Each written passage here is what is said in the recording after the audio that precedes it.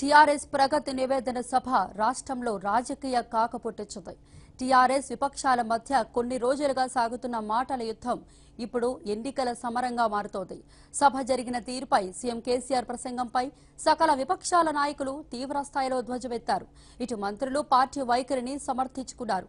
ముందస్తు వస్తుందో రాదో అని కొంత అనుమానంతో ఉన్న విపక్షాలకు ముఖ్యమంత్రి మాటలతో స్పష్టత వచ్చింది. దీంతో అవి ఎన్నికల కసరత్తును వేగవంతం చేశాయి.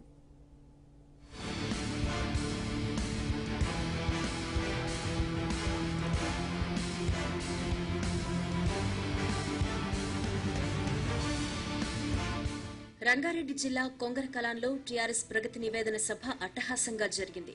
సభలో కేసీఆర్ దాదాపు గంటపాటు ప్రసంగించి పార్టీ శ్రేణులను ఉత్తేజపరిచారు. త్వరలో రాజకీయ నిర్ణయం ఉంటుందని సీఎం ప్రకటించడంతో ఇక అసెంబ్లీ రద్దు నిర్ణయం వెలువడ్డమే తరువాయని నేతలు భావిస్తున్నారు. అతి తొందరలోనే ఈ నిర్ణయం జరిగిపోతుందని విపక్షాలు అంచనా వేస్తున్నాయి.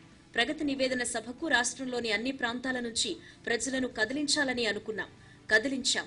సభ ద్వారా వేడిని పుట్టించాలని అనుకున్నాం. పుట్టించామని టీఆర్ఎస్ వ్యూహకర్తల్లో ఒకరు వ్యాఖ్యానించారు. అయితే ఇరవై ఐదు లక్షల మందిని సభకు తెస్తామని ప్రకటించుకున్న టీఆర్ఎస్ అందులో విఫలమైందని అంచనాలకు తగ్గట్టుగా ప్రసంగించడంలో సీఎం కేసీఆర్ కూడా సఫలీకృతం కాలేకపోయారని టీఆర్ఎస్కు ఈ సభ లాభం కన్నా నష్టమే ఎక్కువ చేసిందని విపక్ష నాయకుడు ఒకరు విశ్లేషించారు.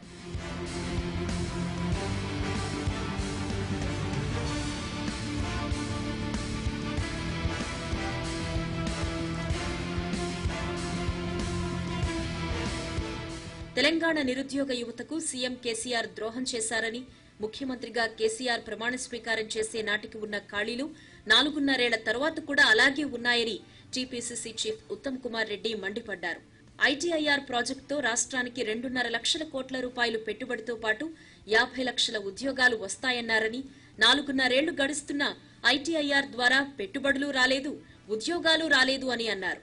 ప్రధాని మోదీ దగ్గర గులాంగిరి చేస్తావు కదా మరి పెండింగ్లో ఉన్న ఐటీఐఆర్ ప్రాజెక్టును ఎందుకు సాధించలేదు అంటూ సీఎం కేసీఆర్ను నిలదీశారు. ప్రగతి నివేదన కానే కాదు ఇది ప్రజల ఆవేదన సభనే జరిగింది. ఇప్పటి నుంచి కాంగ్రెస్ పార్టీ కేసీఆర్ హఠావ్ తెలంగాణ బచావ్ అనే నినాదం ముందుకు పోతామని చెప్పే విషయం నేను మనం చేస్తున్నా. స్పష్టంగా నా రెండు జూన్ రెండు వేల పద్నాలుగులో మీరు ముఖ్యమంత్రి అయినరు.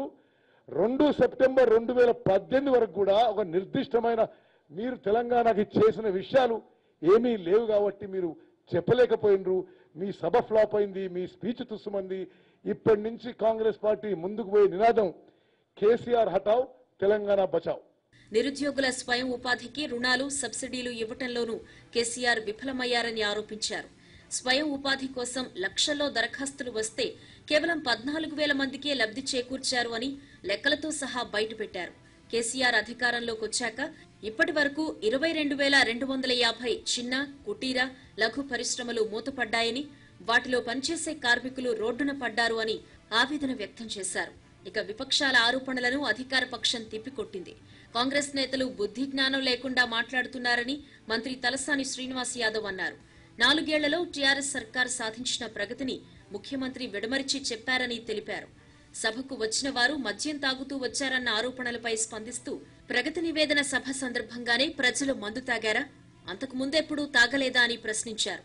ముందస్తు ఎన్నికలకు వెళ్తామని టీఆర్ఎస్ ఎక్కడా అధికారికంగా ప్రకటించలేదని ముందస్తు వెనకస్తు సాధారణ ఎన్నికలు ఏ వచ్చినా టీఆర్ఎస్ దే విజయమని అన్నారు.